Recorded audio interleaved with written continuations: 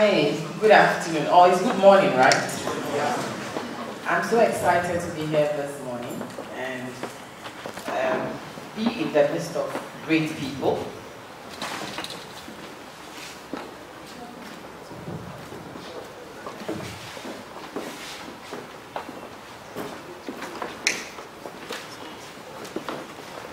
Okay, we are here to have a fantastic discussion and um, when I saw the people that I'm supposed to moderate, I was like, wow, probably the shoes I am not worthy to untie. They are great minds. He was my mate at the campus university.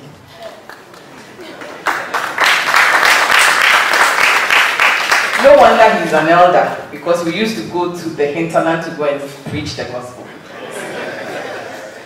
But the marriage has taken me from Pentecostal. Okay. Um, Madam. Madam. Uh-huh. So we have ladies and a gentleman. Um, welcome. My name is Charlotte Libedu, and um, I will be your moderator for today.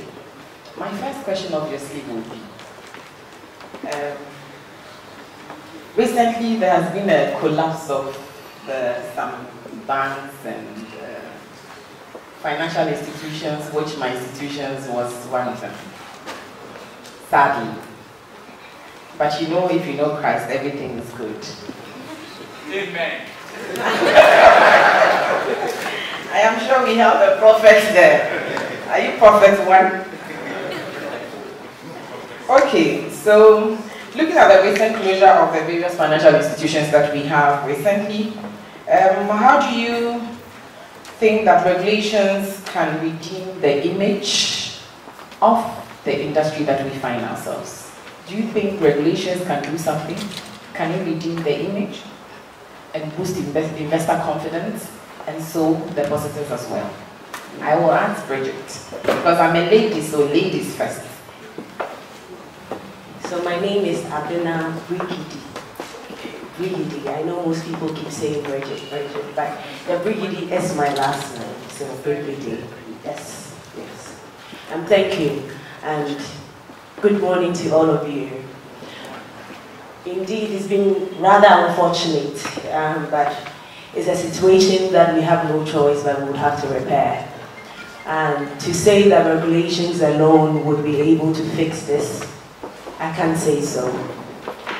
The reason is that first we had regulations in place and the issue was, was the regulations adhered to, was the framework what it was supposed to really be, to be able to man the goalpost of what we had.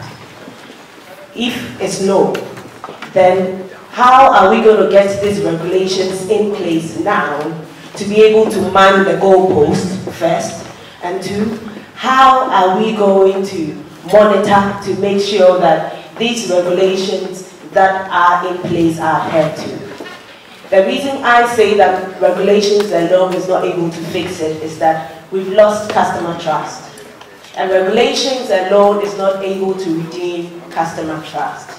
So that means that we need to be able to build up integrity and also show some form of confidence or build some confidence for the client. How do we build this integrity? That means that the existing investment firms or finance houses that are in place should be able to display or um, work towards delivering service promise as little as even the phone call being picked the second time is rang. Um, as little as I said to a client that I come in at 2 and 2 you're there. As little as, um, as little as if I say that I, I am actually doing this investment for you. I'm doing it based on um, well-informed, uh, well-researched, um, well-looked at, thought through, probably gone through the whole process with the client before the investment is done. Such things that are followed, the totality of it. Okay, so I'll leave it for someone else to say it, but yeah. Wonderful. Wonderful. I keep equally asking myself whether regulations indeed can redeem the image. But But Paul, what do you think? Thank you. Um, uh, I'm looking at the panel here. You know, a few years ago, we, we would have all men on a panel, and we kept pushing the female agenda, it's looking like they have overtaken us. and very soon you hear the mantra, whatever a woman can do, a man can do. um, uh, is regulation enough? No, I don't think so. But let's put this in perspective. What has happened is not just about bringing back confidence in our industry. Um, it's a huge blow to the economy, the entire economy. Because when you're talking about people having confidence in the industry, uh, we mobilize funds from individuals, retail, clients, institutions, among other things. But when we mobilize these funds, they are invested and they get the economy going. So, an example, I have one fund with over 40,000 people. Somebody investing 50 cedis, 100 cedis, but in total it's about 1.2, 1.3 billion cedis. This money must be invested. So the money gets back into the economy, and then you get the economy running. So when you have challenges like what we have had, it's not just about people losing their jobs, but it's also about grounding the entire economy. We, we need infrastructure, you know the, the deficit we have. So I'm just putting this into perspective that it's a huge issue we are discussing here. Can regulation alone solve a problem? I think regulation is very important in this discussion in restoring confidence. Uh, but enforcement is even more important because we have a lot of regulations, laws, among other things. The problem we have, and it's not unique to our industry, but across the country, is enforcement. So we need to enforce, and we must be seen to be enforcing. Uh, it's not enough to set regulations to the industry practitioners. Uh, the ordinary man on the street must know that something is happening, enforcement is being done. But beyond that, if we want to get this running. And, and, when it comes to ethics, uh, practically, which is the center of our discussion this morning, I, I, I think that there are about four defenses. I'll call them defenses. The defense number one um, is the law and, and regulation. So it's just one level of it. Beyond that is uh, where professional bodies and associations, like what we have here, comes in where you have uh, some code of conduct for members as to what to do and what not to do. That brings about a, set, a second layer of confidence beyond just the regulation. The third defense for me will be at the corporate level. The company itself must have a definition of what we do and what we don't do. And that must be communicated clearly to the public and to their customers. And the fourth line of defense for me is the individual, the professional's own ethical standard. So I, I think that if we want to get the industry running and we want to get confidence back in the industry, we need to find a way of merging all these four areas I've mentioned. Regulation is important, but it's definitely not enough. Thank you very much. Um, my question to Madam is, do you think that compliance with regulations alone can boost investor confidence or depositors' trust? Um, thank you very much. Good morning. Definitely not. Regulation is an aspect. And if I want to take it from the point of your topic, at the first glance of it, I was like, putting ethics first. Why? ethics and not the law. We make the law, the law did not make us. Something has happened and all came about like the financial institutions that all came. It was regulators' fault, it was regulators' fault. But my question is, who is the regulator and what is regulations? Who is supposed to abide by the regulations and who is not. You see, it's all encompassing. We are all market participants in one way or the other. Be it even the Bank of Ghana, the governor. The governor obviously is an investor too. So whatever happens, it will affect the person. Now we are in a situation of this crisis. How do we get out of it? Remember, the regulator is also affected, but to the extent that they managed to tell us the laws, and the laws cannot stand on its own. The laws obviously are made from the behaviors governing a particular uh, group of people or let's say Ghana, we have our ethical code, we have our various professions and the ethics. And like my colleague said, what can the regulators do? Regulators are going to work hand in hand with all market participants.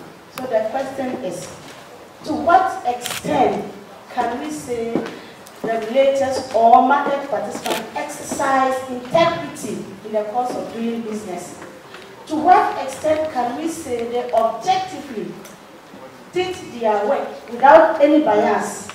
To what extent can we say they professionally did their work with due diligence to bring us this far?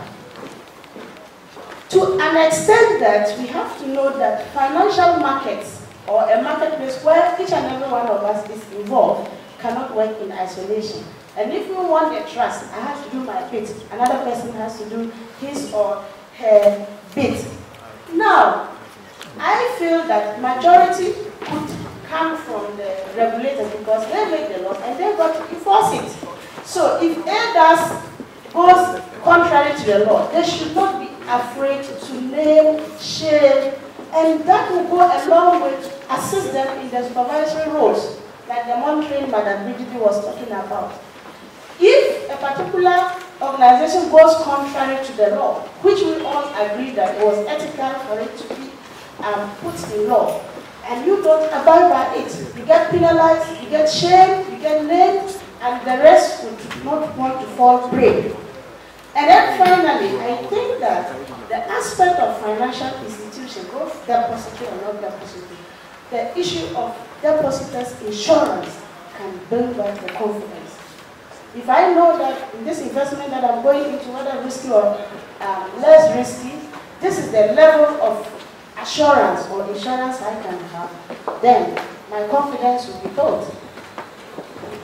Thank you very much. You see, we have brains here. These are great minds. Um, Abena, I want to find out, people living equate um, ethical behavior to legal behavior. That if you are within the law, confinement of the law, it's okay. What do you think? Okay. So I, I believe that legal behavior is behaviors that are set or guided by the law. Okay, so I act this way because the law asks me to do so. And ethical is based on principles, based on information, religion, um, beliefs and all morals and all these things. So I act this way because this is the way I believe it's supposed to be. Or professionally, I act this way because this is how it's supposed to be. So there's a thin line between what is ethical and really what is legal. Yeah. But really, clean up, but you have the heap by you. So you swept the room with the heap beside you. So we need, if we have swept the room, then of course we need to go to the cleaners, for the cleaners yes. to dispose. Thank you. Thank you very much. Uh, Paul, you have any additions to Well, I, I fully agree with um, Abena, um, except to say that regulation law must be seen to be enforced. Okay, so when you get to it, um, the companies that went down with the repair of reports we've seen, if they are true, where are the auditors? What has happened to the auditing firms that were auditing these companies all over these years? What has happened to the directors? I mean, we have heard some have started new businesses. So, so it's, it's not just about saying that there is law, but the law must be seen to be enforced. But like I mentioned earlier on, it's not enough to just talk about the law. Um, and I'll reiterate the fact that at the association level, these accounting companies belong to some associations. The professionals, the individuals, belong to some associations. At the corporate level, at the individual level, uh, we need all the four defenses because you see, innovation and creativity is always ahead of regulation and law. The, normally, things will go wrong and then laws will have to come up to make sure that it doesn't happen again. And there are always gray areas that the law will not be able to cover. And I want to make it a little more practical. So you have money for investment. You want to give that money to me to invest for you, your company. But the condition is if the money is given to me, I would have to give that money to her. I will evaluate her company. I may not be too comfortable with her company, but the condition to accept the funds for investment is that it's going to end up with this person. How does the law cover that? Because we met at least we had that conversation. So the money ends up there. Now it is time for maturity. Once the money ends there, she is paying 1% to him, to her, who is the CFO of the company or the board chairman. Out of that 1%, I also get uh, 0.4%. So now the money matures, they cannot pay. But because I benefited, I don't have the, the moral right to go after her. And she doesn't have the moral right to ask me to go after her. So we, we, we meet and we keep thinking, and it's the poor customer's deposit. So we go and see Abena. That look, it's getting bad. It has matured. So why don't you bring the money to you give her money so we can pay her and we'll reinvest so you can get your money back. So at the end of the day, there is a mess. But connive, connivance, we, we connive and it's going to be difficult for you to get the law, the law detecting this. So we are talking about the law and uh, the Director General of the Security Selection Commission.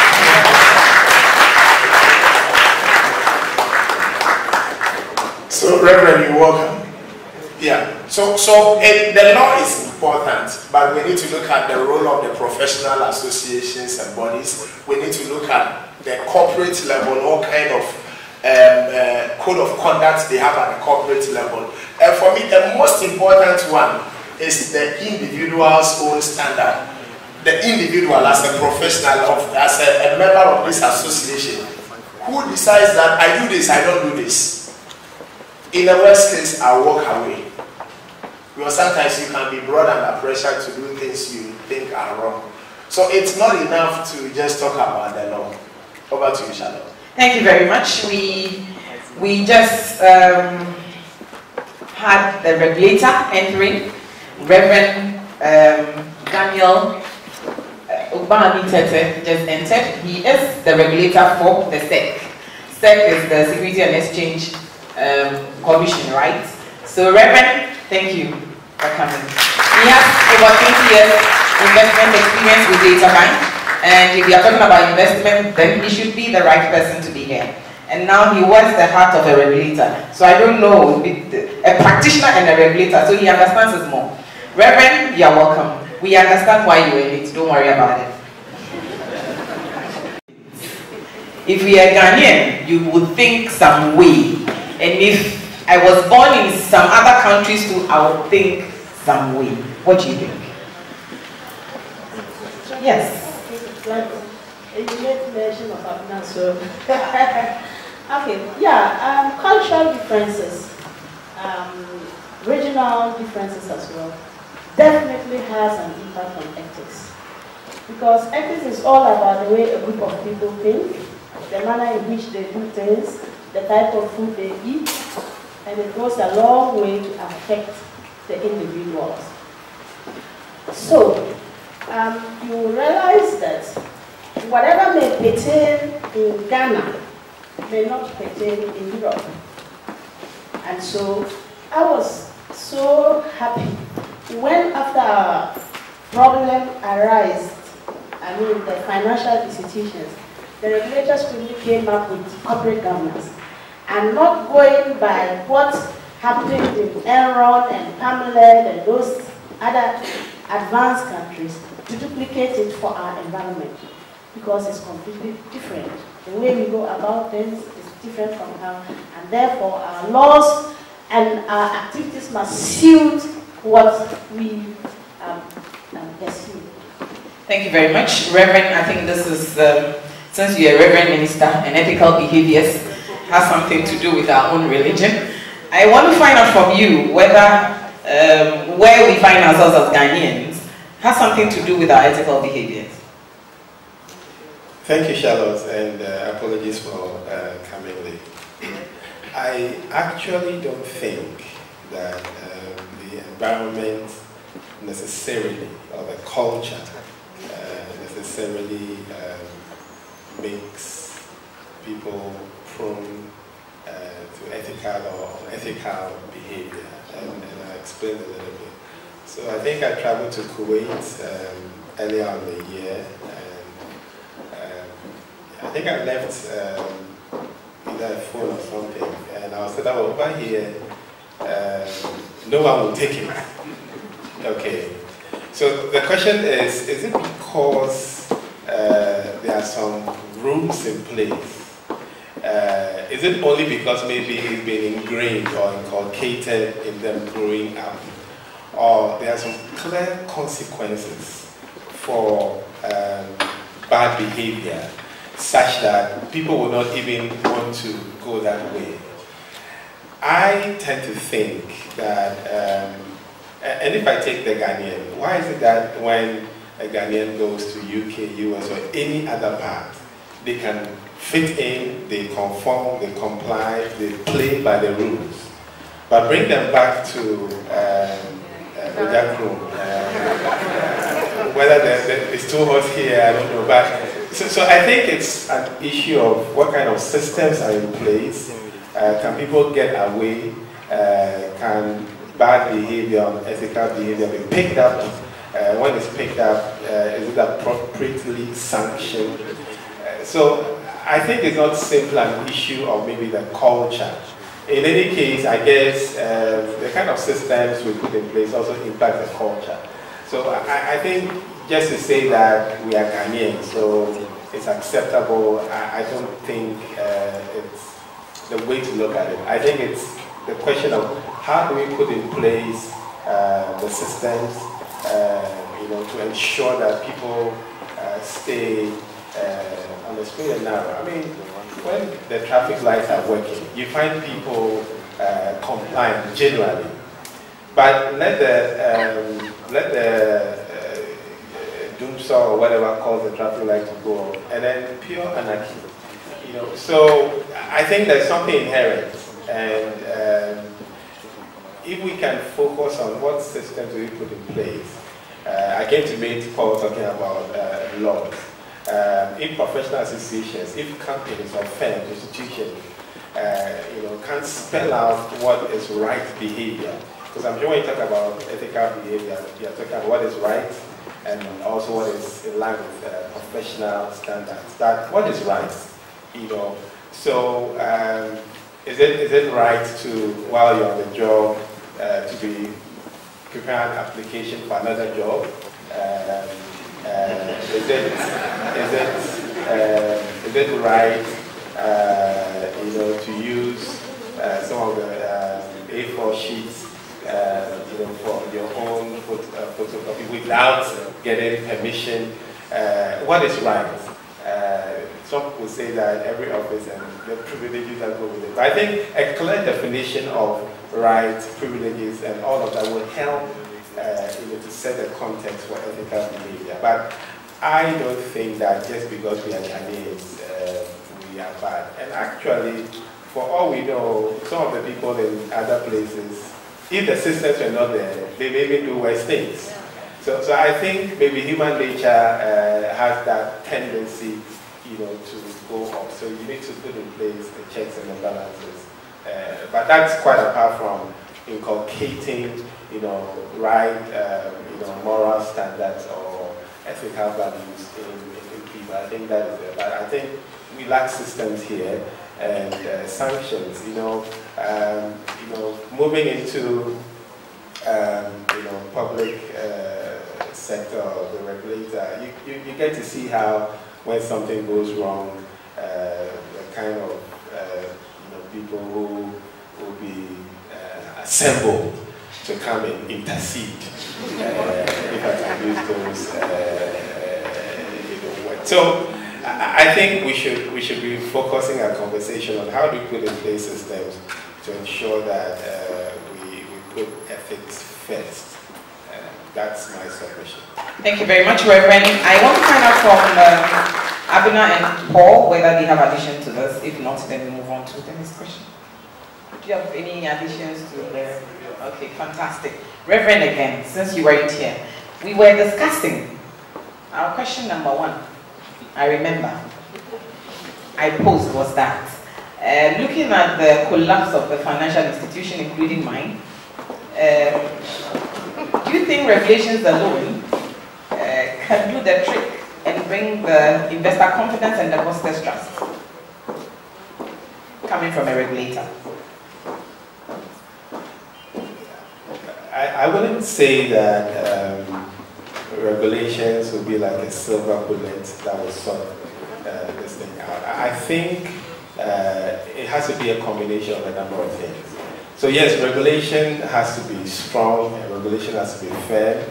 Regulation will signal to um, investors and, the, and all stakeholders that um, you know there are consequences for uh, action or in, in, inaction. So uh, regulation needs to be uh, firm and to send the right uh, signal.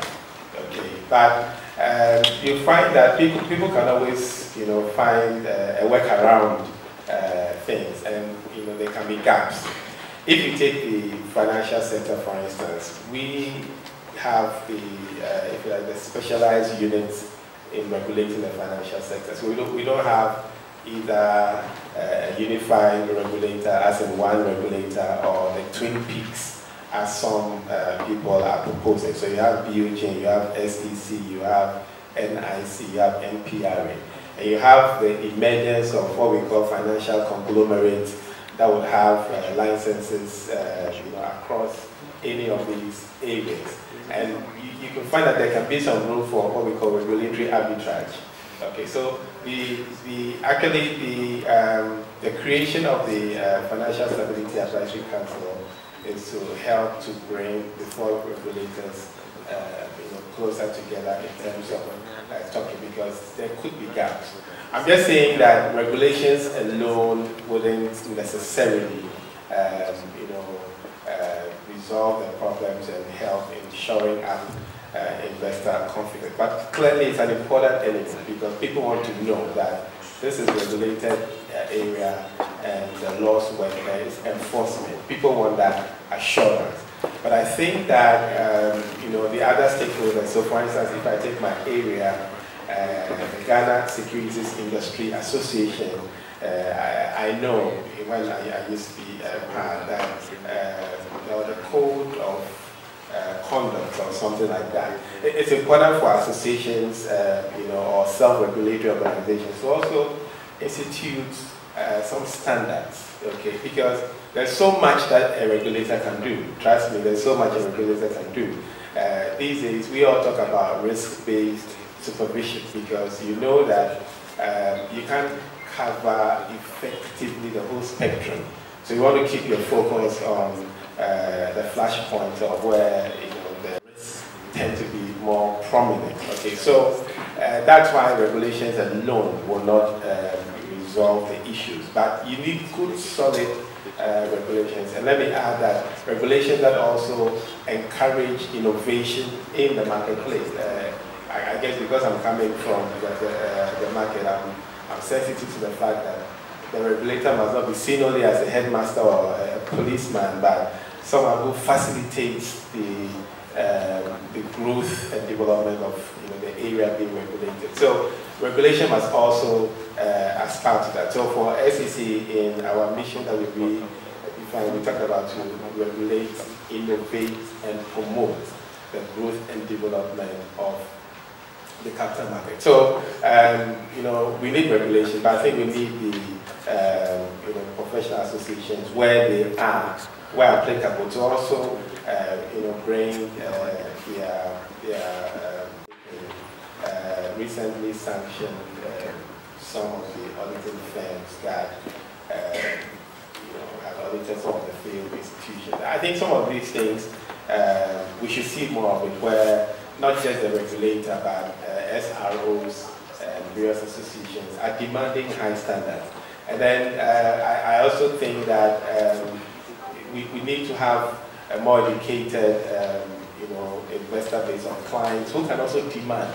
So, for instance, uh, when you when you go and see a fund manager or uh, uh, any other provider, you should be able to ask some questions and get some uh, some answers rather than just you know uh, accept whatever you are being given, like take it or leave it. So I think it's a number of pieces coming together, um, to achieve a restoration of investor confidence and the strengthening of our financial sector because our financial sector is key and we need to make sure that uh, all the stakeholders we are singing from the same uh, hymn sheet so that we strengthen the uh, industry. But speaking as a regulator, we are committed to signal uh, to the market that uh, enforcement is not going to be compromised on. Uh, indeed, one of the three key elements that we identify uh, at the SEC is enforcement. So we talk about education, enforcement, and then market development.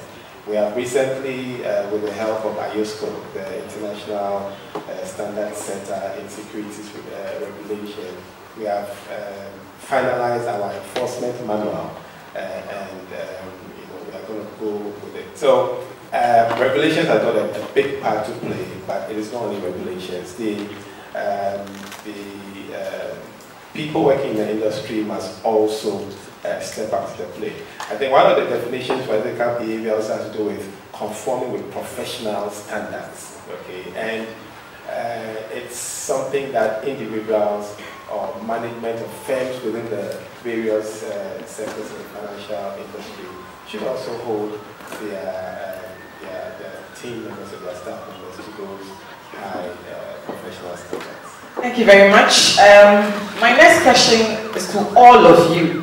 As a person, have you ever encountered any ethical dilemmas? So probably um, Abena will start. As a person. Yeah. Yeah. So I was chasing this fund and it's with uh, parastatal. So I go and finally the CFA CFO decided that, okay, I will give you the money, but this is where the money is supposed to end. Okay, so I'm giving you the money today, but it's just to go through your books and then let it end somewhere. And this is a new company that I'm looking to grow AUM. Desperate, I'm looking for funds again to increase AUM, also get some revenue off it. So that is for me to think is this what I would do or what I would do? Okay, and clearly it's spelled out, spelled out in limit. We don't do that. So we just have to let it go.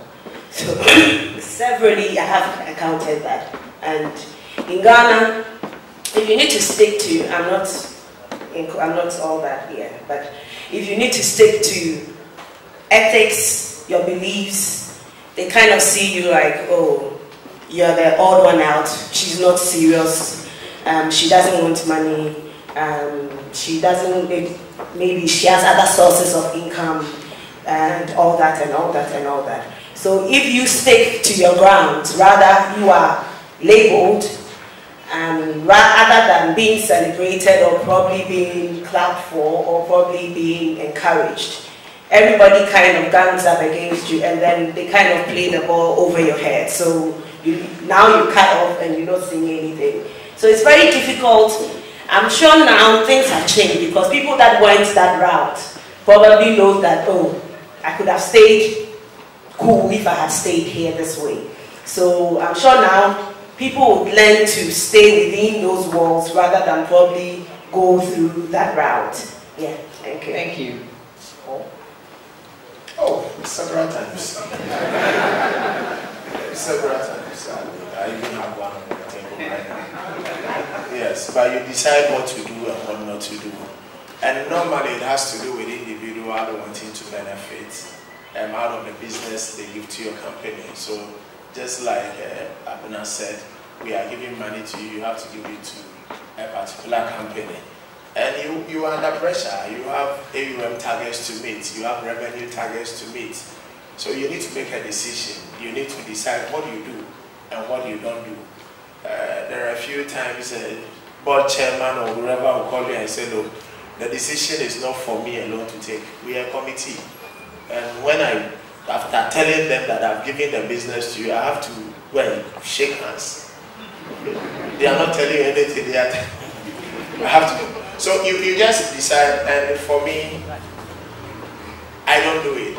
So there are a number of times you will lose businesses because of that. Uh, there was one occasion an issue came up like that. I said, I'm sorry, we can't do it. They moved their money out, two years later, they brought it back. Yeah, so it, it, it, it, it happens every day. I've, I've encountered that several times. Okay, the two of you are the practitioners. I don't know if you have. Um... Yes, I have a lot. Oh, really? and normally people will not expect that coming from academia. Exactly. I'm surprised myself. And you can have it from various angles. And the most is coming always from our students. Um, I want to start with from management, for example. There's this issue of your professional ethics and supervisor's directive. Now, I'm a lecturer. Um, some students happen to get 48, 49. The pass mark is 50. then your, your HOD complains, you ignore. Then you go to a, faculty board, you ignore, you still stand by your grounds. That's no way. A 49, 48 has to fail. They are final year students, and obviously.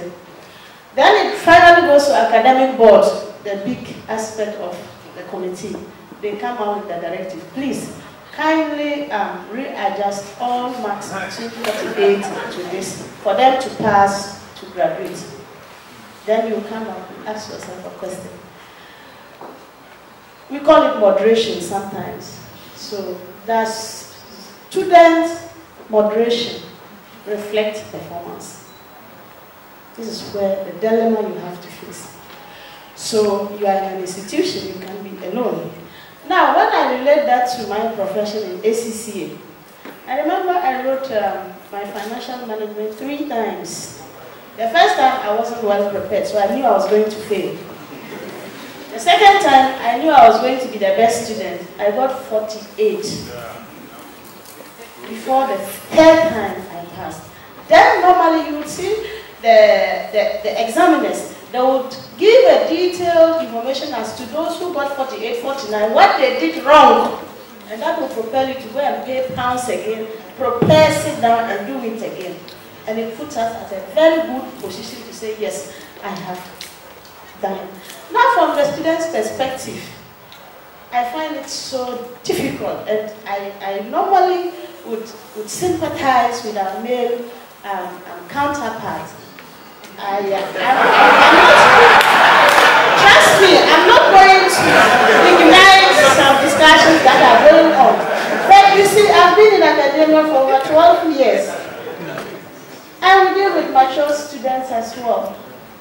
Before I got married, I said, well, this was normal. You have students coming to you, madam, you look so beautiful. Oh, madam, there are some fuel coupons. And you can get as much as 500 Ghana cedis fuel coupon. So you ask yourself, I, this is a hot cake. I mean, fuel is expensive for everybody. Should I take? Should I not take? You see others coming in the form of, excuse me to say, the, the executive director for um, SEC. Oh, please, I want to um, you to find some time off and you know your course is finance, it's quite technical, and my wife is struggling in your course, I want you to have a private class for her. Sometimes, trust me, the salary or the payment you're going to give is more than your salary. so you ask yourself, if I get this opportunity and I pick it, how can I exercise my integrity? How can I exercise my objectivity? And most of the mature students, for whatever reason, some may have problems with their wives and those things, they just start, oh, can we go out for shopping? Can we do this? Can we? And all these are forms of harassment. So,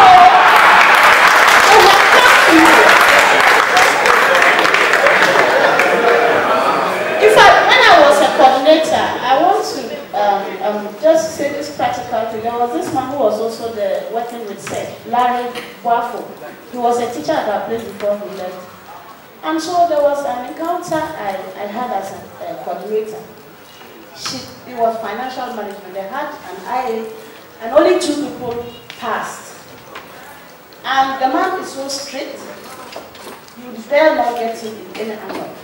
So what the class did was, they now lured the classroom and all the students mobilized at the eighth week to come to me to report as a coordinator that they didn't want the lecturer because the lecturer has said that all of them will fail, a whole lot of stories.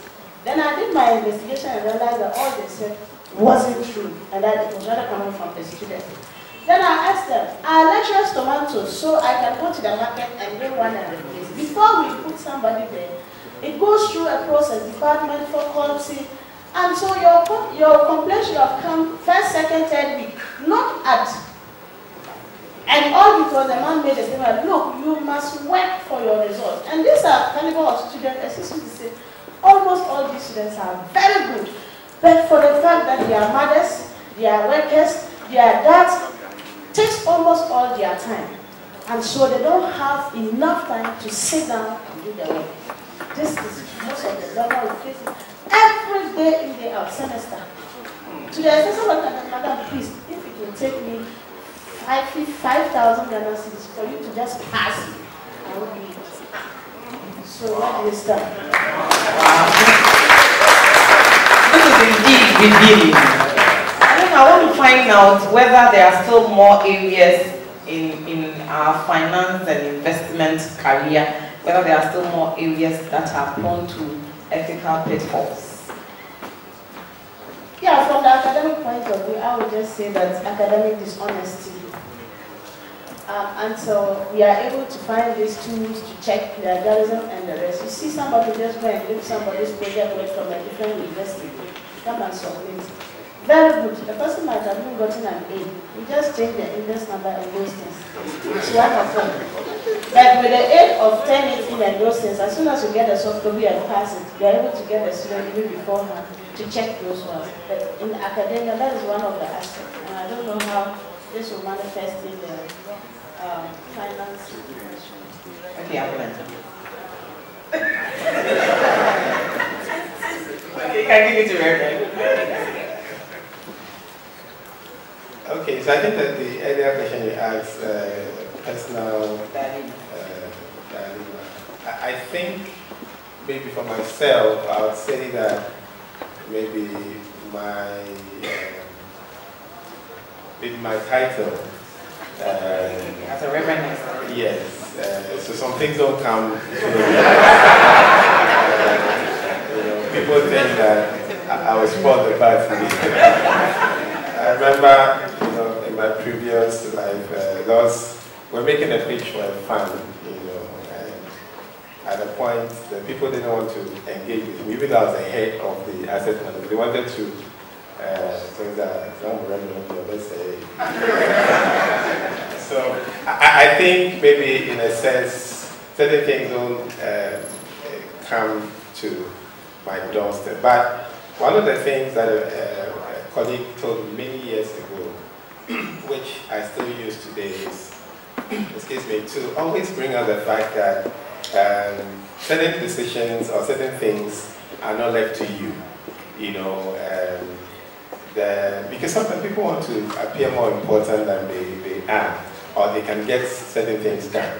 So for instance, um, if I should use SEC, you can't get a license just because of one individual. I, as a DG, I don't make decisions on licenses. It's a committee.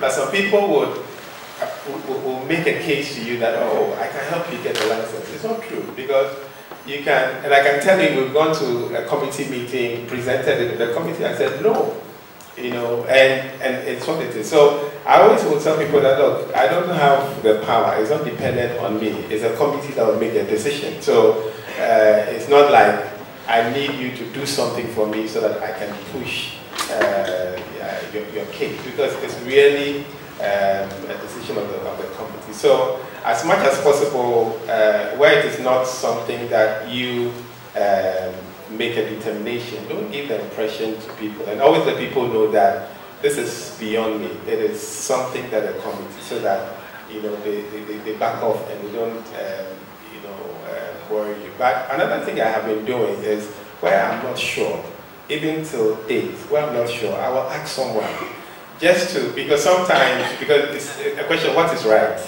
Okay, so where I'm not sure, you'll bounce it off people who you, you know they have their moral compass at the right place uh, who have experience, just to you know sound off and, and get some uh, other perspective because you may be looking at something from one viewpoint, you know. So that also is helpful. So I do that. I do that, um, you know, all all the time. So um, I can't cite some, um, you know, uh, uh, immediate examples about some dilemmas that I've, I've been through. But I, I, just try to do things that tomorrow, uh, if it's uh, brought out, I will not have to, you know, bow my head in shame. I can say that I did, uh, I did the right thing. And, you know, uh, where I am currently, when I, you know, I travel, for instance, and there is uh, accountable imprest, okay,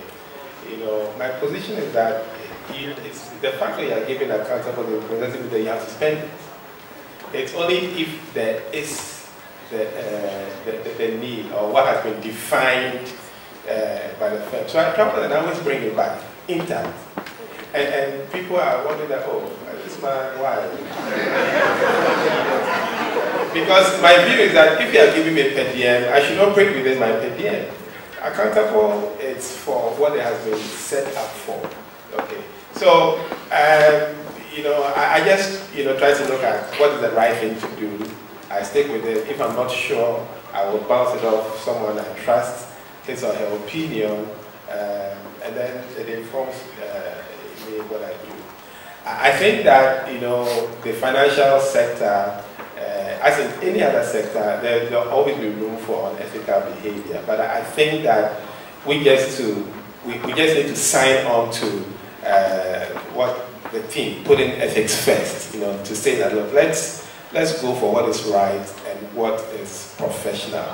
Um, if, if I take uh, our compliance manual, uh, it sets out clearly what is expected of uh, the operators. But you have a case where, let's say, um, a fund manager will sell a product that is not suitable uh, to the investor just because you want to increase your AUM, you know, and uh, we've had so many complaints coming through and you can clearly see that there was mis-selling, you know, and mis-selling is unethical behavior because you must look at the person and then, um, you know, make sure that you're selling a product that is suitable for his objective, his risk tolerance, and then whatever time horizon he has.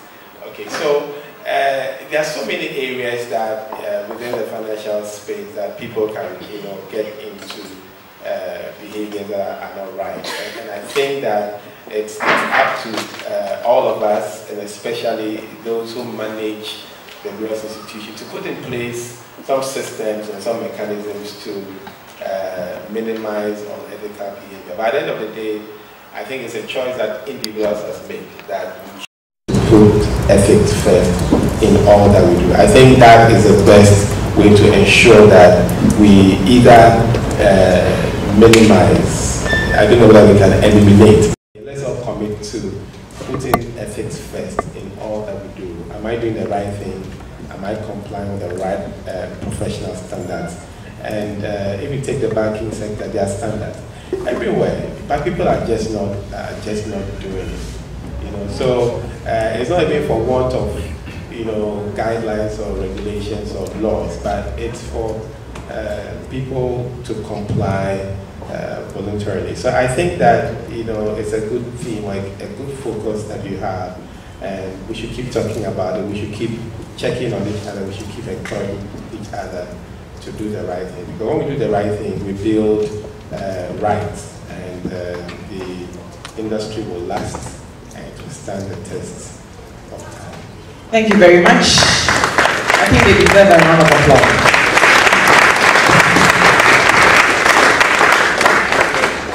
Okay, still in the ethical mood. I want to find out whether uh, a company can be ethical and still become profitable. Or you have to cut some corners before you become profitable. Or you should be ethical and still remain in business. I want to find out from the practitioners. Yes, a company can do that. Um, I, am fortunate to be working in a multinational uh, where there are clear rules on what you can do and what you cannot do. I mean, if you have to go somebody, then you pay out of your pocket. Because the accounting books will not take it. Because it's not just about you signing the check and uh, uh, giving that money out. So yes, it's, it's, it's very possible. We don't do that, at least from where I sit, but we are doing our business. And sometimes people also want to even those who want to benefit from transactions want to deal with honest people. So once you can show that you are doing clean business, uh, there are clients who want to deal with you. So it's very possible. Um, a year or two ago, there was a company where you are a Provident Fund, we wanted to manage. We had pitched for Provident Fund. Then the board chairman comes and says, uh, you have to pay is it 0.5% or 1% to the trustees? So no, we, we can't do that in Ecobank. He said, no, no, but other companies do it. I said, okay, no problem. Send your address to me. So I'm going to share this with our legal guys. They will draft agreement. So we sign the agreement that you will be taking, then you add your account details on how the payment will be done. Say, hey, who does that? And that was a nice way of telling the man that we cannot do it. I just didn't want to call it a bluff. You know. So it's very possible. It's very possible you can do clean business, you can decide not to get yourself dirty and still be profitable in business. Okay, Abena. Yeah. So I'm also fortunate to be working in a wholly Ghanaian owned company. and but still highly ethical. Yes, very ethical. We we don't do we don't do kickbacks. We don't do takings. We don't do nothing. And we've been growing steadily. We've not exploded, but consistently we've been growing. Um, what I would say is that most times, when they know that they can't talk to Abena about this. They don't even come. So from day one, you have to make your cards on the table. So they know this is what she does, this one she won't do it. So don't even talk to her about it. So in the office, you hear that, don't talk to Abena about this, she won't do it. Okay. She, so from day one, they know. So when one of these, these banks went down, they were a custodian. And KPMG audited the company. Then it came out that our name was mentioned that we are taking money as a pension transaction. I just could not um, take it in that Nimet's name was. I just went straight to KPMG, went through that, that, that, that. Then we realized that the voucher that was taken was a staff of the, the bank. So I said, can you put it on record that there was no staff Neither was it me who took this money. And can I have it off the documents that never ever took this such money? Because 1,700 Ghana cedis never came to us. And we didn't do that, that such transaction.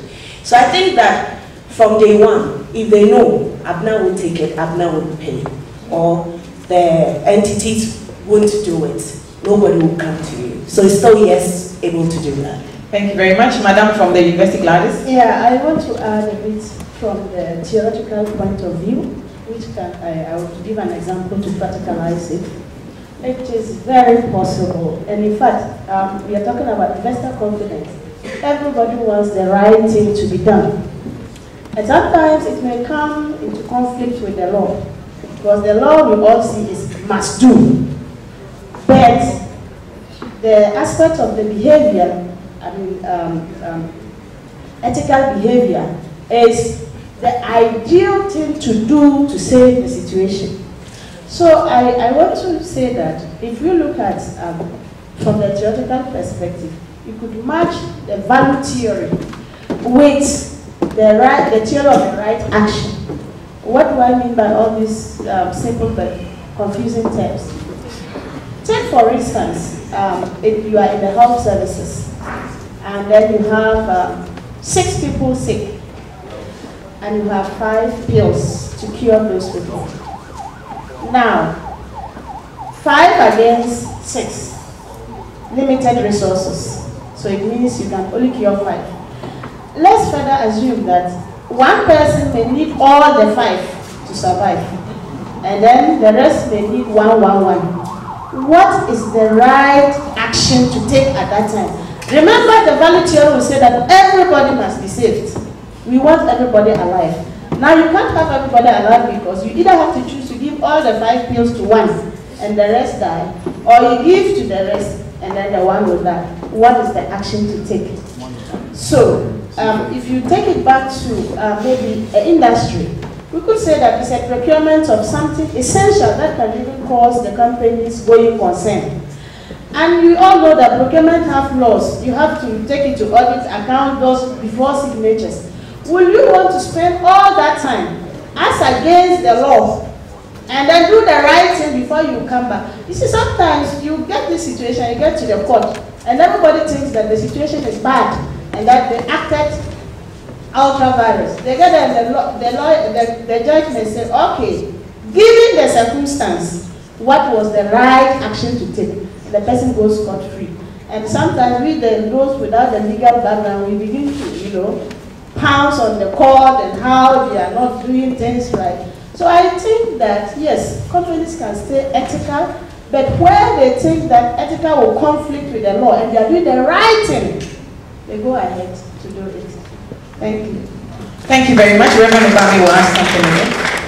Yeah, just a, a, a little example, um, you know, about unethical behavior and profitability. Um, so the, I don't know how many of us remember, but quite a number of years ago, there was a company, I think their name was Trial College or so, and they advertised uh, a fruit juice. Um, very catchy advert, fruity, fruity, fruity, if, if people can remember.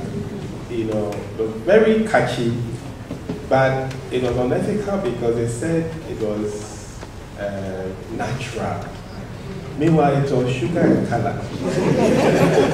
okay, so they, they, they, they, they, and the question is, where are they today? They, they are gone. So the, the notion that uh, you can't be profitable if you are ethical, uh, I think it's, it's flawed. Because in actual fact, you could fool people for some time, or you could, you could escape being caught for some time, but eventually they can catch up and they can bring you down. So I think people should know that putting ethics at the center of first is important, and it's also key even to sustain profitability, not just um, you, you make it once and then you go on. Thank you very much. Um, the next question is, I'm told my time is almost up, right? How many minutes do we have? Five minutes. Don't worry, five minutes can do great things. So my question is, how are we preparing for an ethical future in the face of threats, challenges presented by globalization, technology, and human psychology? How are we preparing our various companies for the ethical future? And I think I will ask Reverend Ogbarmey, in the face of a lot of challenges with the said related entities, when people cannot withdraw their money and all that, how are you preparing those companies for tomorrow? Of course, as a regulator, the first thing will be uh, putting more rules, uh, putting more uh, guidelines. So, for instance, there is a conduct of business guideline that we have worked on, and we have already bounced it off the market, and uh, we are going to issue it because that will have some uh, provisions on um, what is expected of, of, companies in terms of conducting uh, their, their business. So um, we, we, we, can talk about the framework or regulatory framework um, and then the issue of enforcement. Because when people uh, realize that uh, there's a consequence for um, you know, bad behavior, uh, that alone, you know, can, you know, stop you. You know, when you are doing something bad and you see a policeman, generally speaking, you may want to, uh, you know, pause.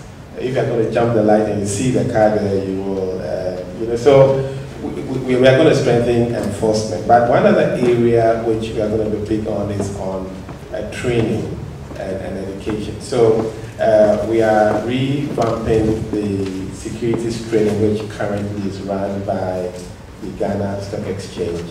I think uh, next month uh, the, the, institute is likely to do a launch and, and ethics is, is going to is featured in the training program because uh, in some cases too people don't know what it is or what is right or what is ethical behavior. So um, you know we, we're going to do that training just to make sure that people at least are giving some basics and then they can uh, improve But I think that will urge various companies to um, uh, come up with a code of conduct, a code of ethics, just for, to ensure that their staff uh, know what is expected of them and then they do it. Are we expecting some cleanup from your sector?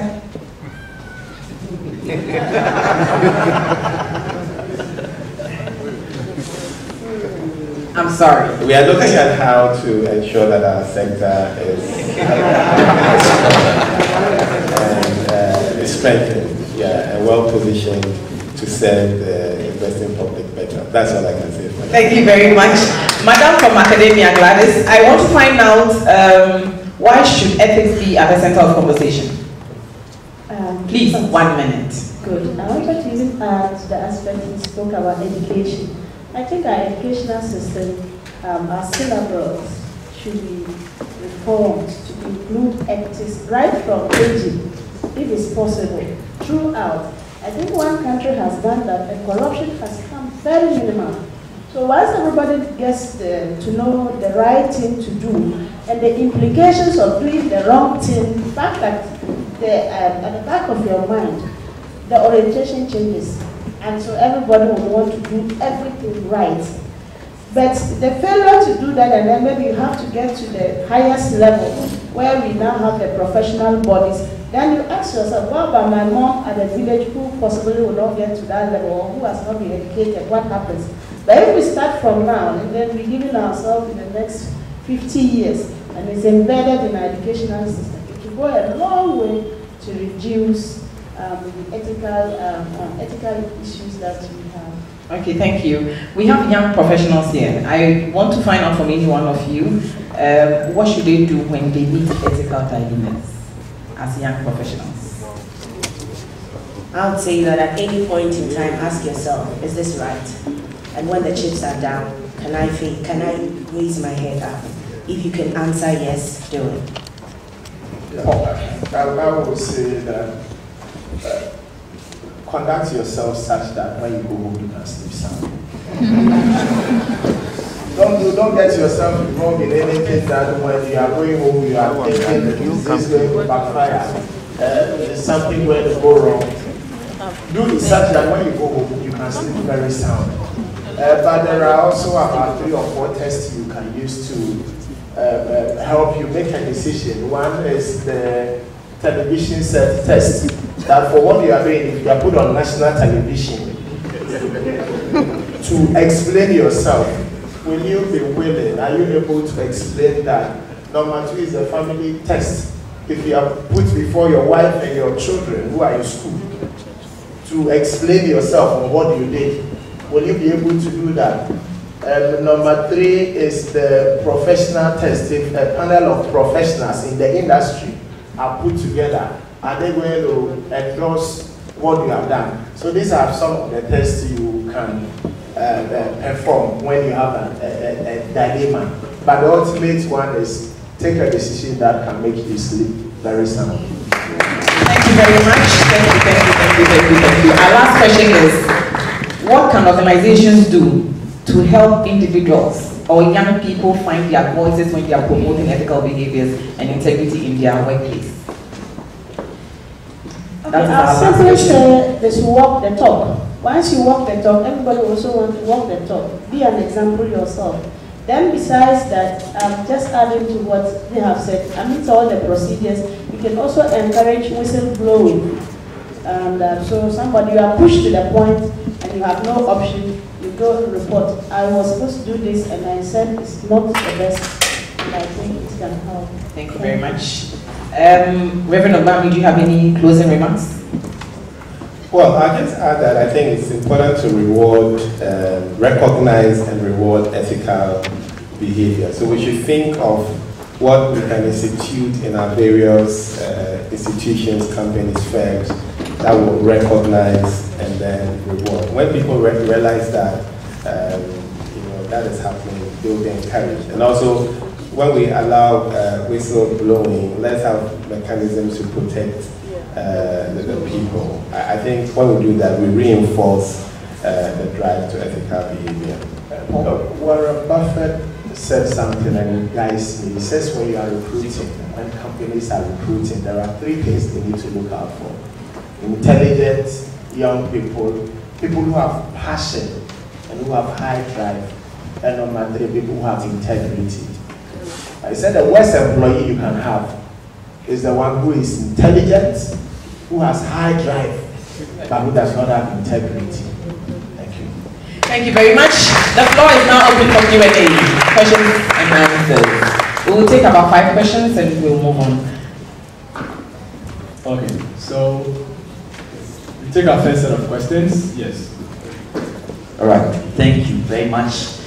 My name is Ebenezer Suman. Um, so there's a two-in-one question. Um, how to direct the first one to Reverend.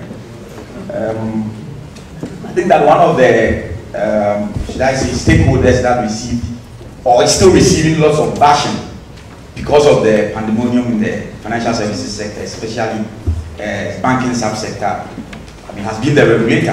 And uh, people are talking about the fact that if the regulator has done their work well, you know, things wouldn't have gone that way. So, um, let me look at what I'm saying. Um, would have to come and check and then eventually certify that officially the branch can work. That is what happens. So one early morning I was called, I had to rush from the house, you know, and get to the office. So I stood there, I was there waiting and the person came uh, in a V8 and so the driver stopped there and the woman got out and came. He said, oh, manager, how are you? Fine. And I led her to the branch. We entered and she just walked three steps and looked at the corner and the other corner. Oh, good. That's fine. Did the MD tell you something? I said, yes, this is it. And then bloom and then I came. That was it. Wow. I said, wow. So is that all about it? Then I can also work there because it's so easier for me to do that. Um, the question I want to pose is this. We expect the regulator to be the watchman. And so if things don't go well, we go back to hit the watchman. I mean, some of us, because of the stance we took in these ways, we have to even suffer. So, because of that, okay, then we move you from this bank to another one because you are too troublesome. You don't allow certain things to happen. The watchman, the regulator. My question to you, Reverend, is who watches over the watchman? I said to you, man. The next question is Mr. Paul. Um, it's very simple and straightforward. Do you think that confidence in clients or investors can ever come back after this pandemonium? Can it ever come back Are we going to have a full-blown, you know, something like we used to have in the past? If not, why not? What do we do? If yes, when is it going to come? Thank you. Thank you very much. So I saw a hand here. Okay, thank you very much. My name is George Annan, and uh, in the beginning of the presentation, I think um, Mr. Mante mentioned key lines of defense when it comes to ethics. We mentioned the industry, professional bodies, the corporate institutions, as well as the individual. But it's something I also want to throw in, uh, given we are Ghanaians. Know, Ghana has a, a strong affinity towards religion, with Christianity and uh, Islam being the dominant, the dominant sects in Ghana. Could we say that this could also be a line of defense, but most likely it's also failing? Because you see a lot of churches. If we had to take a Sunday, there will not be traffic on our roads. Where is everyone? Most of us will be in churches. Fridays in the afternoon, some of us will be in the mosque. Could that be a line of defense or and we are doing something very wrong? So the same people are in corporations, but we are quick to blame the regulator. When it comes to regulation, it's because there is there are punitive measures like uh, the Director General rightly mentioned, there are punitive measures, but ethics goes beyond regulation. Ethics is a little above the law because the law can have gray areas. The law can have a place where the law is not explicit and there are no punitive measures. Will you still do what you are doing? So I just want to throw it in something we can discuss that. Why are we going on Sundays? Where are we going on Fridays? When Monday to Friday we are doing something else? Thank you very much. I saw a hand here. I'll move there.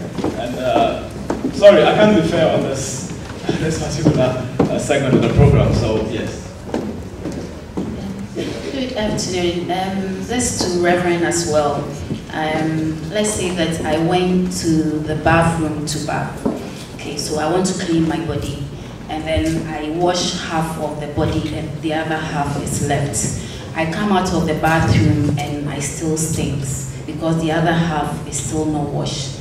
I'm told that the um, financial industry has been cleaned, but then half of the sector is being cleaned. How do I now convince another customer who has money with a SEC-regulated company to still give money to another institution that has been cleaned? Thank you. Thank you. Thank you. Um, Reverend has, I think, about three questions now. Let me. Hi, my name is Patrick. So with the, with the issue of ethics, I believe it's because of the human face.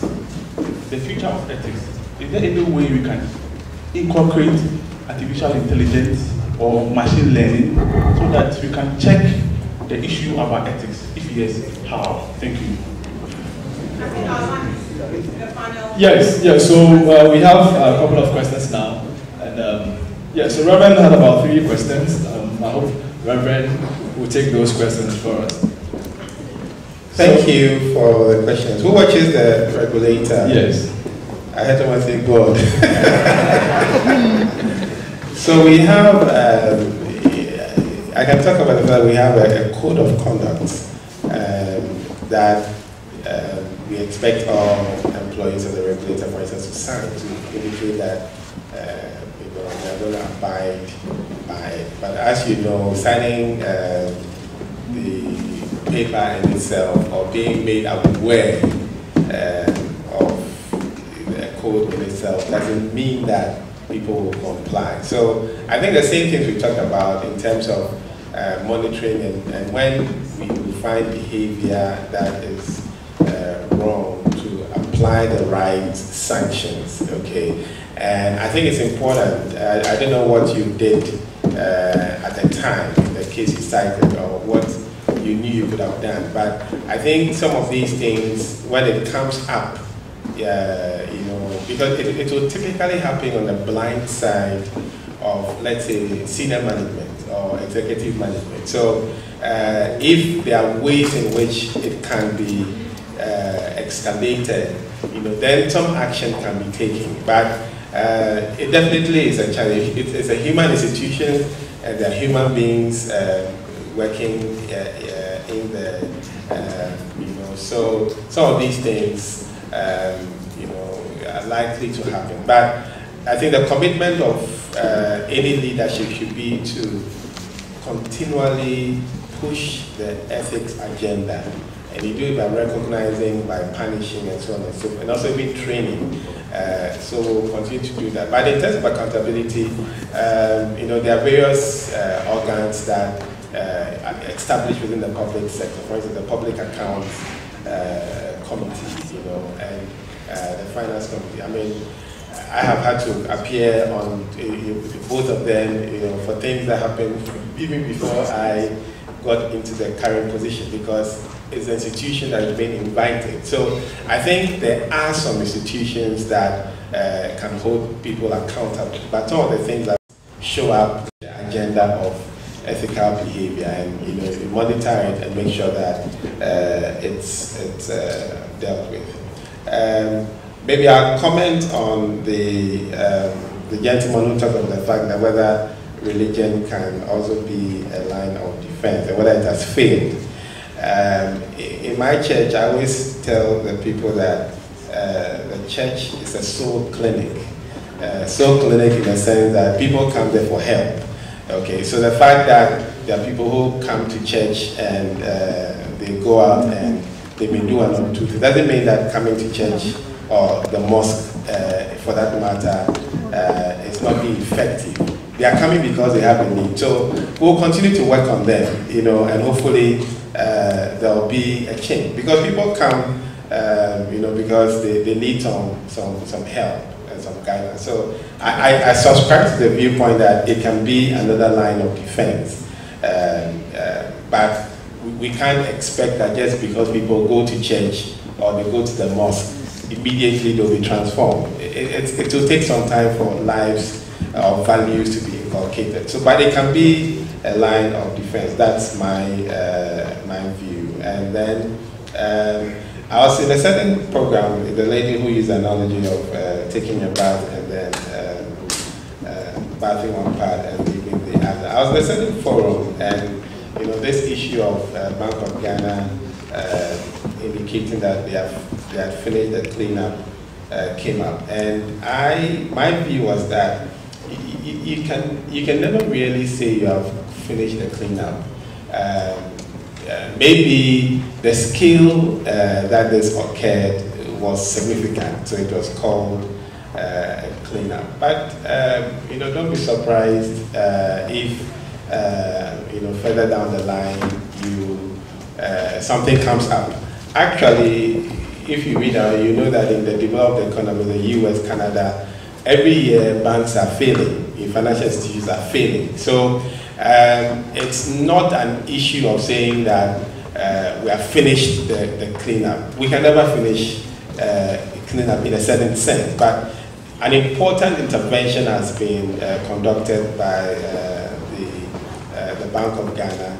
Uh, but on the continuing basis, we'll, we'll have to continue monitoring to make sure that people stay on the straight and narrow. Same with SEC, we are looking at our, our sector and we are, we are looking at ways in which we can ensure that the, uh, the operators within our sector uh, are also uh, doing the right thing.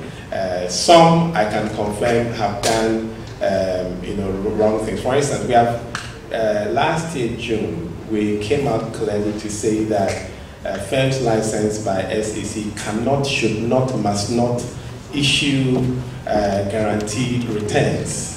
Okay, we, we, we were very clear. That has actually been there, but we came out strongly to enforce it, and we gave out that uh, directive. But we know some people prior to that directive uh, were doing that. And even post that directive, you know, because some information has, we've picked up some information which shows that some uh, uh, people are still doing. it. So it's an issue of the regulator. Um, we keeping our eye on the ball and making sure that um, we we are having you know sound, uh, compliant uh, operators within the uh, within the industry. So um, we are committed. At least I think whatever has happened so far is an indication that regulation will step up to the plate. And uh, I can say from my part that we are also committed that we'll do what we need to do to ensure that we have strong and healthy um, uh, firms operating in the financial sector. Thank you very much.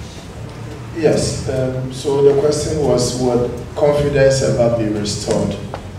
Yes, I think that it's going to take time for it to happen. Um, in 2015 or so, I, I went looking for some business, a, a lot of money, close to 100 million.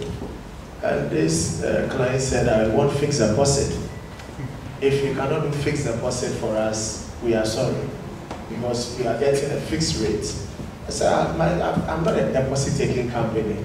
Our license does not allow us to do fixed deposit, and we can't guarantee you a return. So we lost that client.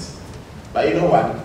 That money is locked up in the challenges we have at the moment. So I met a client last week, said, look, I have learnt lessons out of the mess. So take this check and let's go and start. Uh, Kakra kakra will build up. So I think what has happened, people have also learned lessons. Um, and the companies, so on the church being another defense, there are a number of people doing the right things. So let not make it appear as if all the companies are not ethical. There are a number of companies in our industry at the moment who are doing the right things. So I think people have learned. We will continue with the public education, uh, with all the things SEC are doing, and uh, if we are able to look at all the other defenses that I mentioned earlier on, it's gradual, but I think that we will get there.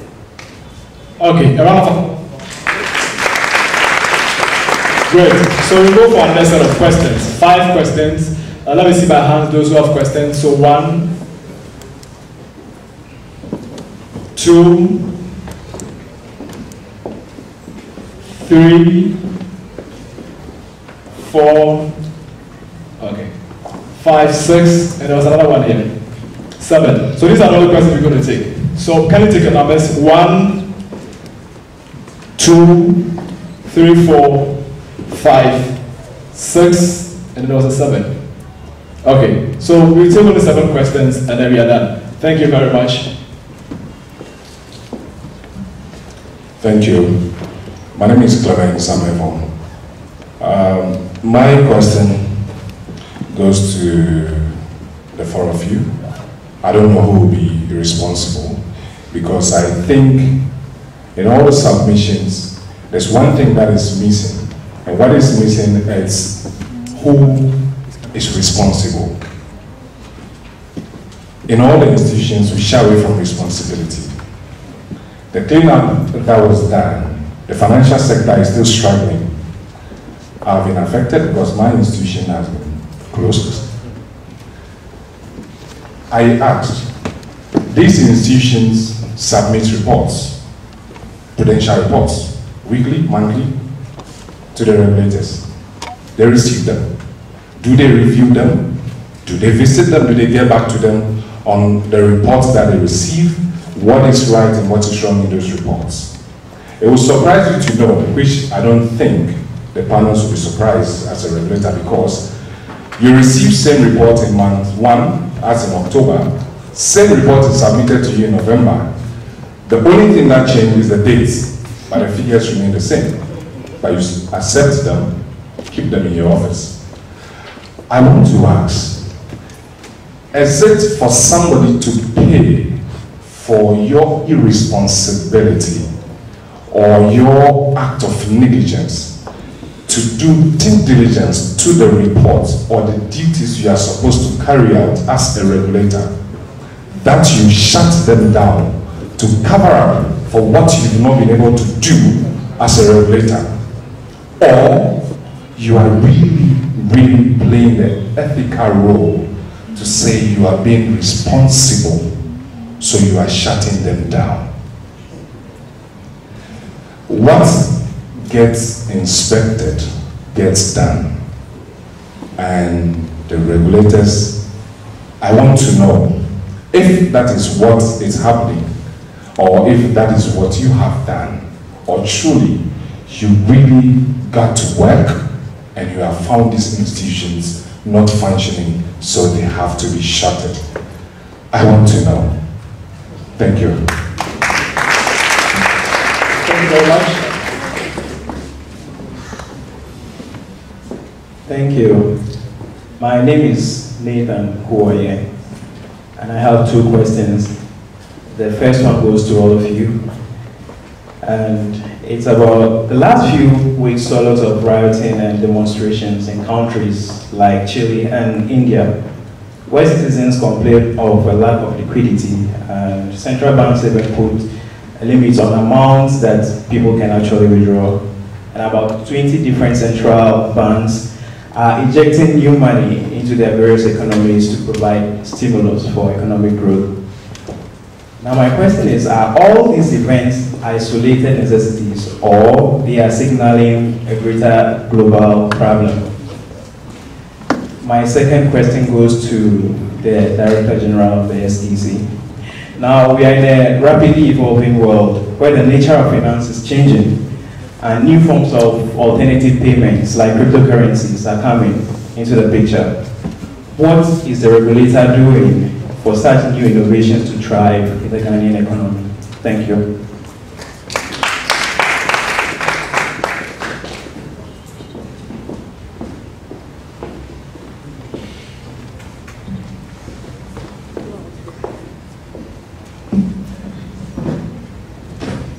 My name is Maxwell. We are discussing profession and ethics. So what I would like to ask, what I would like to ask is that will our professional development automatically develop our ethics? If not so, what can we do that our develop our professional development will complement our ethical behavior? Thank you. Thank you very much. My name is Franklin Osusetre. Um, I would like to ask this question about um, how well is corporate governance being implemented in our organizations and uh, as regulator, um, to what extent are you ensuring that they are being implemented well? Um, Director General gave an example that um, when there's a committee that grants license and he has nothing to do with that personally.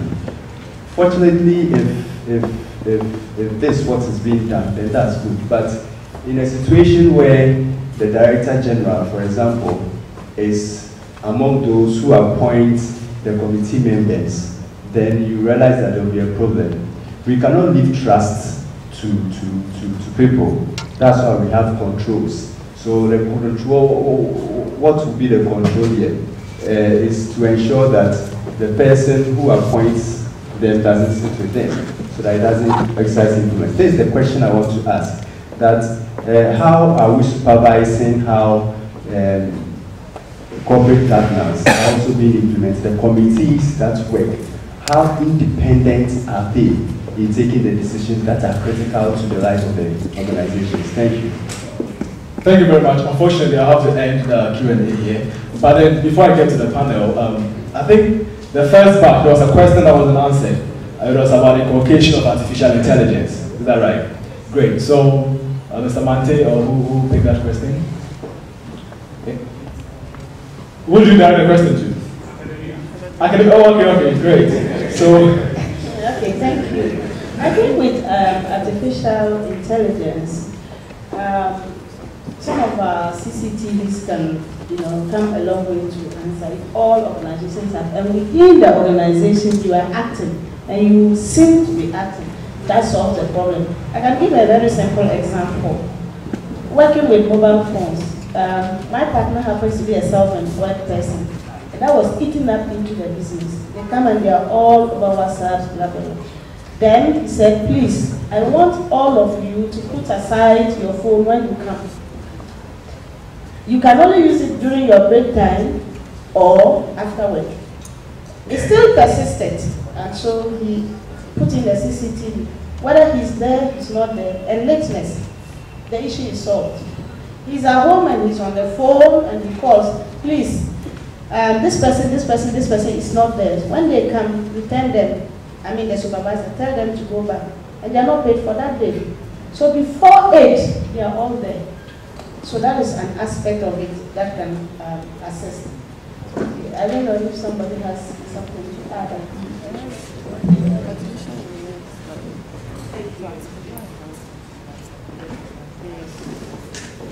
Okay, thank you.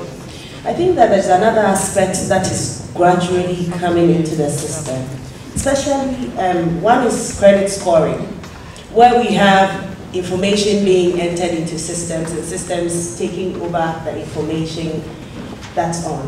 So now we don't need, um, say, Mr. Kweku to sit down and score Mr. A for a facility that probably he's not entitled to, that will need a kickback for. But the system has already scored you, and we know that the system doesn't have the capacity to receive any kickbacks. So gradually, it's going to grow into some other industry that we are anticipating, we don't know yet. But gradually, it's coming into the system. I hope that answers your question. It does, yeah.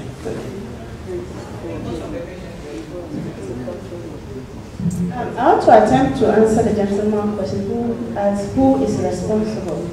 I think to a greater extent, we are all responsible, not only the regulator.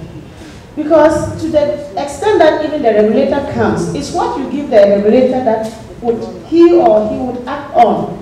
I'm saying this from experience. I was in the banking system for um, four years, and I left the banking system for just two reasons. One, one of them, I had a very critical, uh, I was at a very critical department, that was audit. And anytime I did my audit report, it was altered even before it went to a meeting. Every Anytime. So even if you go today, my name is still embedded in that particular bank because most of those I with who are still there, they always call me uh, Mami Jaka, how are you?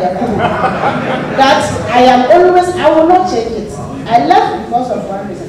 The second reason was also because I felt I needed more time. Sometimes I had to travel out and that. So today, if I were still there and the interest was there, you know what I would do? There, there was a question that as who watches the watchman? You are supposed to also watch the watchman. Whichever way that you have to go, even if it takes you to go and pinch media and say, please hide my identity. This is what is happening in my company. They will pick it up. Because at the end of the day, you see you are a victim. Not only that, the growth of um, the economy. Most times the financial sector is a major contributor to GDP. Now most of them are collapsing. What happens? We are all crying. So I think that we all have to, we are all responsible in our little way. And it will go a long way to change the whole um, issue. Thank you.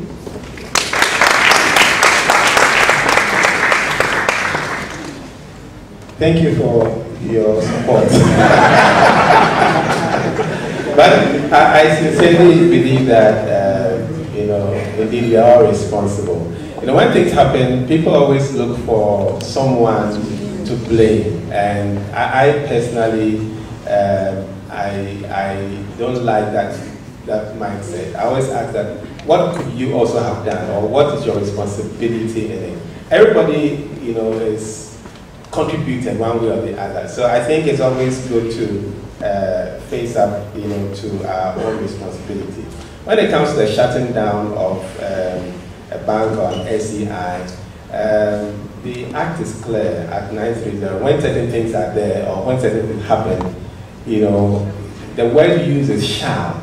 And if, if, you, if the lawyers here will tell you that when shall is used, it means that it has to happen the fact that maybe it wasn't done uh, in previous times, it's a, it's a, different conversation. But if conditions happen that merits that uh, this provision act must apply, I think that that's what happens.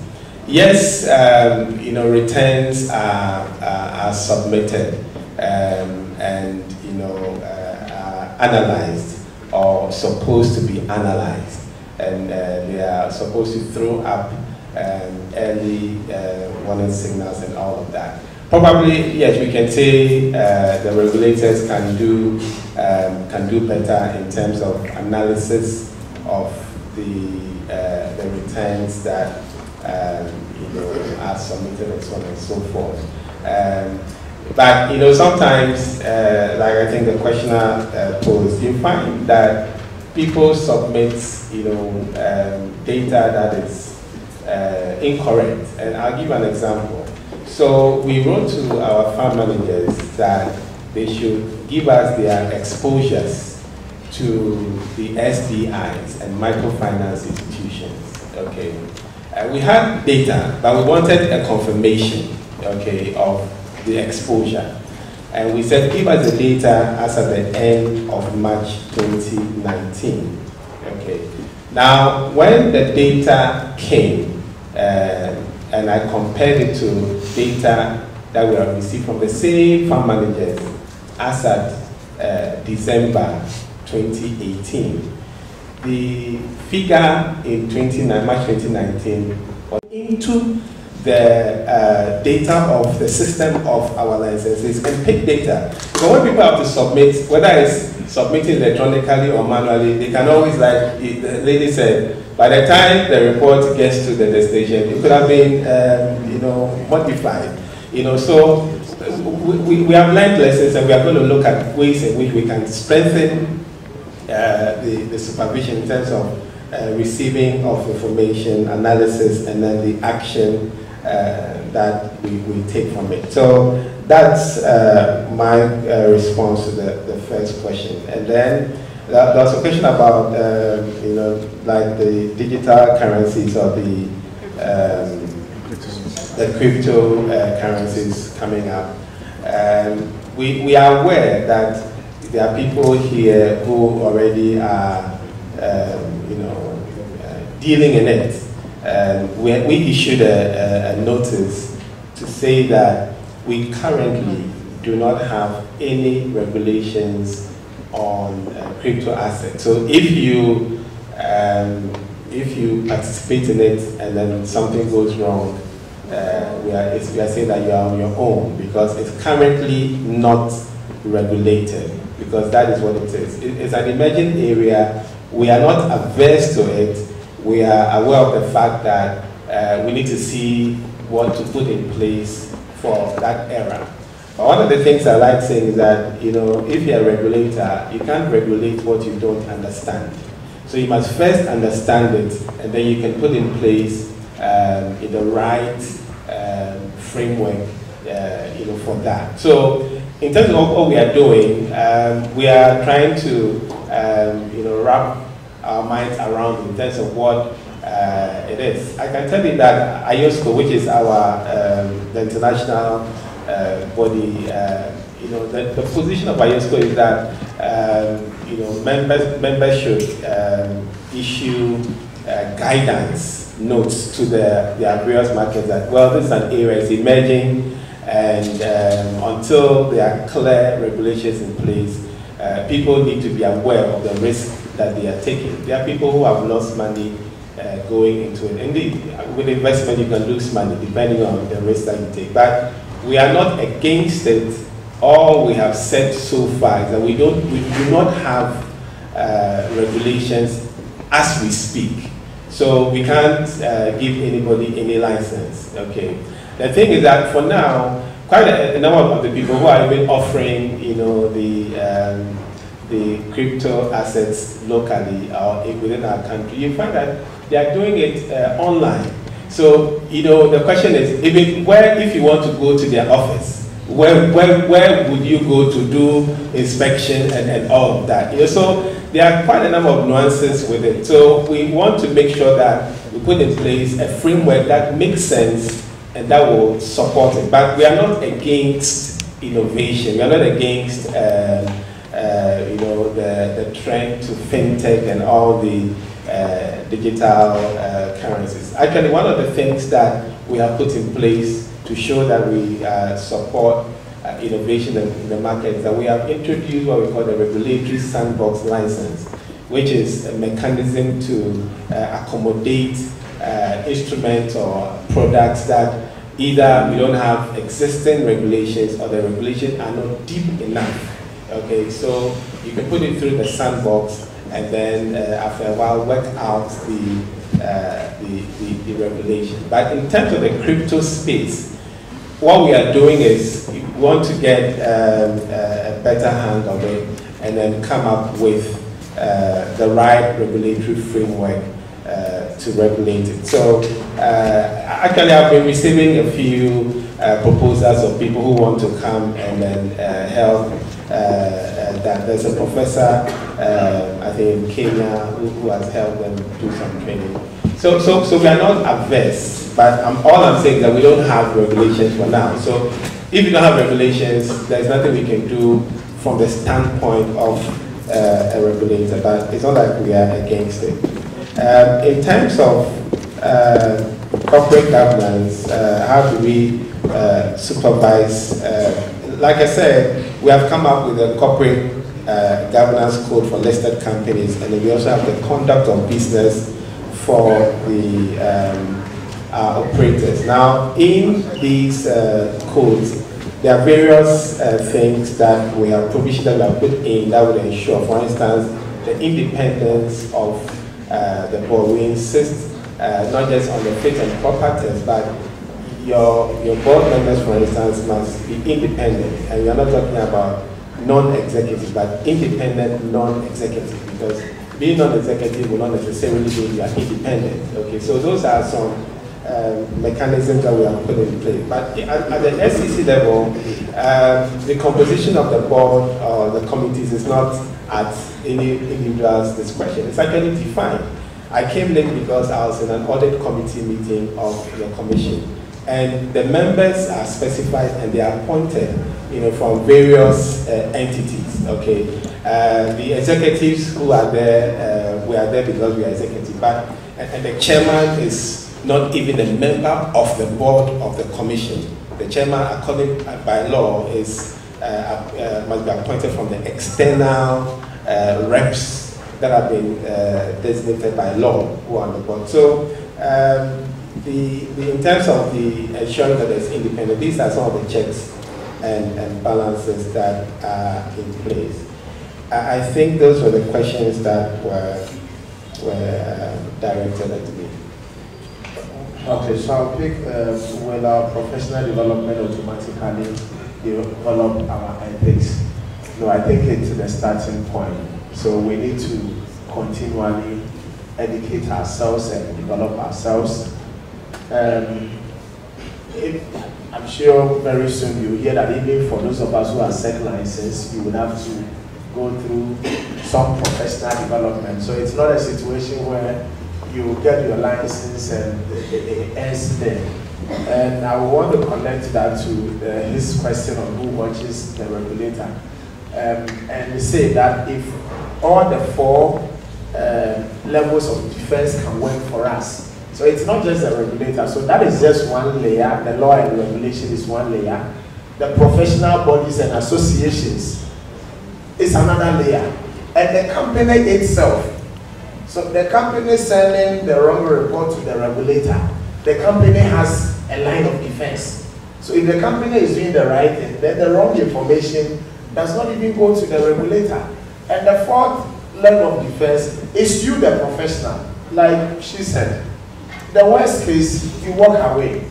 You know, you can change jobs, but you can't change your reputation. You, you, you can't do that, but you can change jobs. So Job is one of the things uh, somebody said that imagine life as uh, a game in which you are juggling some five balls. You name them family, health, friends, and spirit. Uh, family, friends, spirit, and work. Five. The, the, said the four. Your relationship with family, health, your friends, your spiritual life, or your integrity. They are like last balls. If they drop, they will, will out this cap. But work is like a rubber ball when you drop it, it will bounce back. You can change jobs, but you can't change your reputation. So the individual, I believe, is the most important line of defense. If the companies that have challenges, if we had some individuals who stood for the right ethics, they could have whistleblown and told the regulator that this is wrong. Or this report we keep sending, it's the same report, we haven't changed anything And that is not to say that we shouldn't hold the regulator accountable, but that is, to say that we all have a part to play. And if the four lines of defense can work together, we can restore confidence and what happened will not happen again. Thank you very much. We'll bring this section to a close. I want to say a big thank you to Gladys, Paul, Abena, and Reverend Ogbarmey for taking time out of your busy schedule to be here. We've had an interesting and great minds display. God bless you.